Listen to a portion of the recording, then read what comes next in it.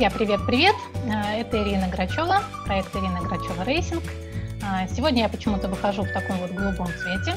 Скорее всего, это из-за нашей темы. А сегодня мы продолжим навигацию с использованием Expedition, то, чем я пользуюсь на мини, и добьем маленькие нюансы, которые могут быть полезны, на которые мы не успели обратить внимание в прошлый раз. Итак, погнали! Вот он наш родной Expedition. А, значит, с чего начнем? Вот я открыла программу, и она у меня пустая, хотя в прошлый раз я строила маршрут долго и упорно.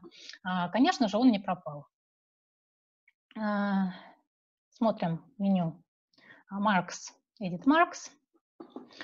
И вот здесь вот у нас высвечивается вот такая вот табличка, в которой мы можем найти тот маршрут, который строили в прошлый раз. Напомню, что название его было МАП 2020 в честь гонки трофей Марии Агнес Перрон, которая предстоит мне в июне в классе мини. В этом году и, надеюсь, в следующем году гонка ежегодная.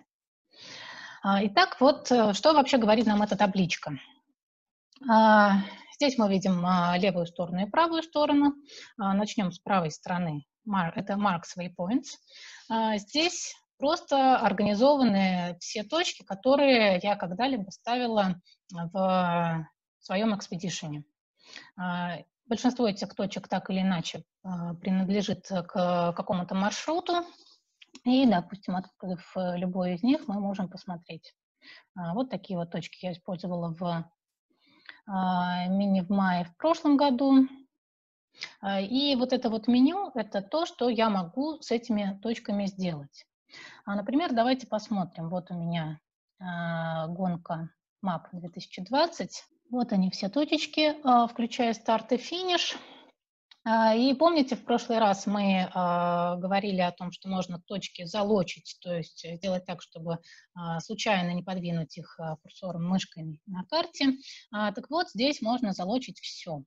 Выбираем наши точки из маршрута map и ставим лог. И вот а, все точки у нас залочены. Это не значит, что с этими точками нельзя будет дальше работать. А, точно так же с любой из них можно будет а, поработать как на самой карте, так и в этой табличке. А, на карте мы точно так же наводим курсор на точку, щелкаем правой кнопкой мыши Edit Mark. И здесь можем ее разлочить или отредактировать координаты или название. Либо вот здесь, вот в этой табличке, точно так же можно открыть папочку и поработать э, с каждой отдельной точкой. Unlock, да или нет? Нет, пусть будут залочены. Вот, э, итак, это просто список точек, которые так или иначе присутствуют в каком-то маршруте. Слева вот в этой части таблички у нас сами маршруты. А, и эти маршруты мы также можем редактировать. Удалять из них точки прямо здесь, э, либо точки добавлять.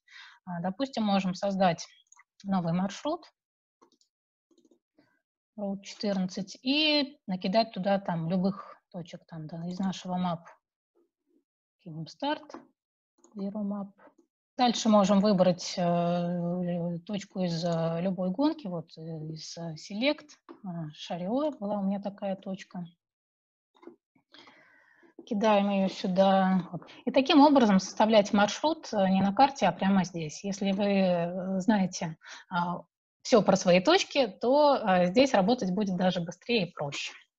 Итак, э, как я уже говорила, конечно же, наш маршрут сохранился, и сейчас э, мы должны его сделать активным, чтобы увидеть на карте.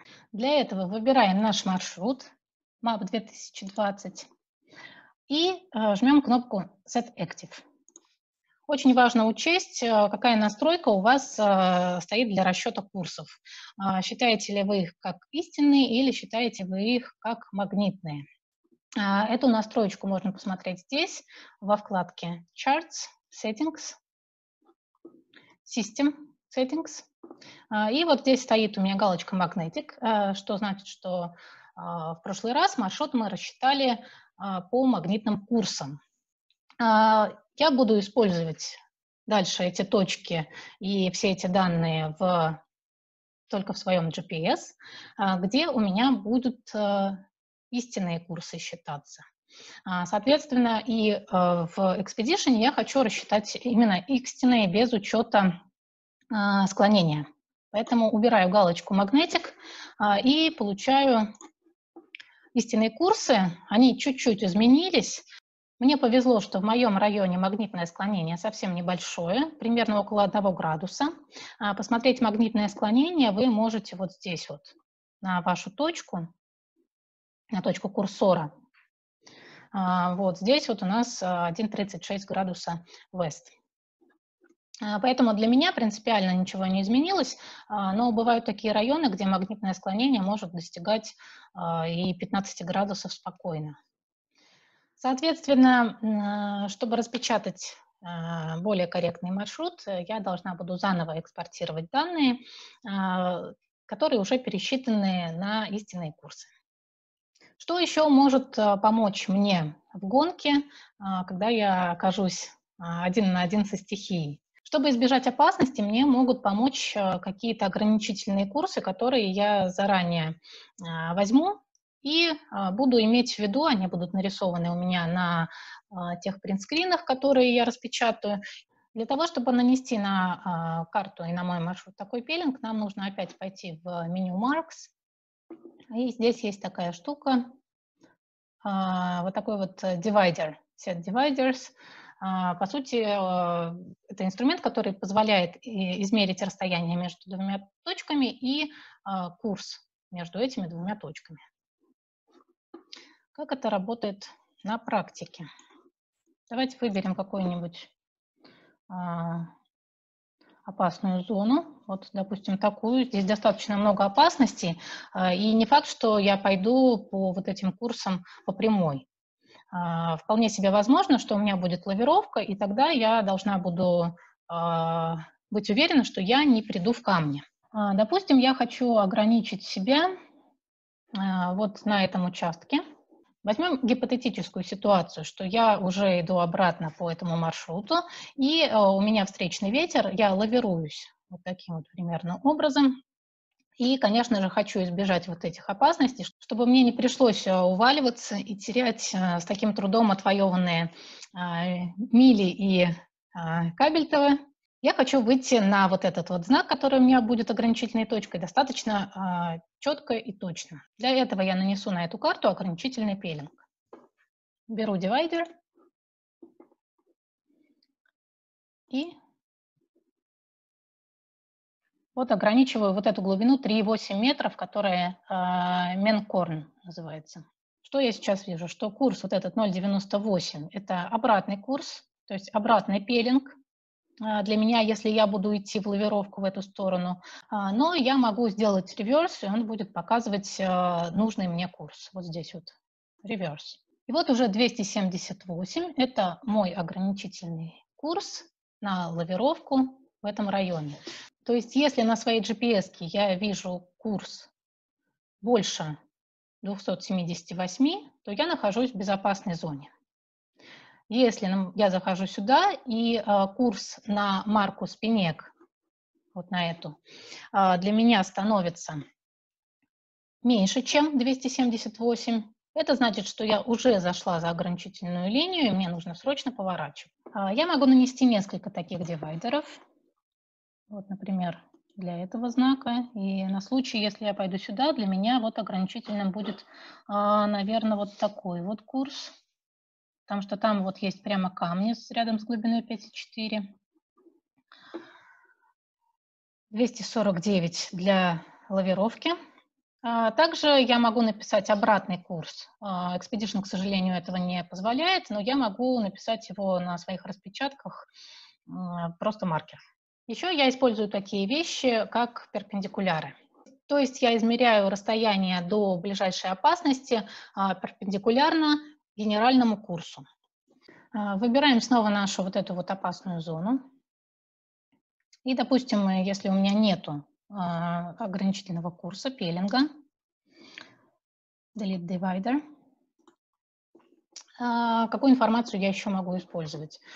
Я могу использовать расстояние, вот, допустим, от этих камней до моего генерального курса кратчайшее расстояние а, миля 0,7. Расстояние достаточно маленькое, а, и а, я проскочу это расстояние, на, если буду идти с хорошей скоростью, достаточно быстро. Каким образом я могу это использовать в гонках класса мини? Со своей GPS я могу получить информацию, с какой стороны от генерального курса я нахожусь и насколько далеко я нахожусь от генерального курса.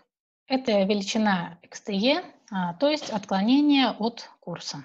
А, вот таким вот примерно образом будет выглядеть а, мой экран на GPS. И вот она величина XTE. В данном случае э, яхта находилась слева от генерального курса на расстоянии одной мили и трех кабельтовых. Таким образом, у меня будут данные и понимание своего местоположения относительно генеральной линии, и я смогу сделать э, умозаключение по поводу того, насколько близко или далеко я нахожусь э, от опасности. А, также я могу использовать дивайдеры для того, чтобы э, измерить какие-то узкости, чтобы просто иметь представление а, о них до того, как я туда попала. Ну, вот, например, Радусайн. Берем дивайдер и измеряем от знака Ляплат до ближайших камней, я знаю, что расстояние миля 87.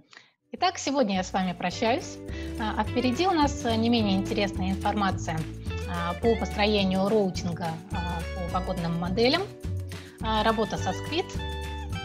Ну и вообще куча интересного. Пока!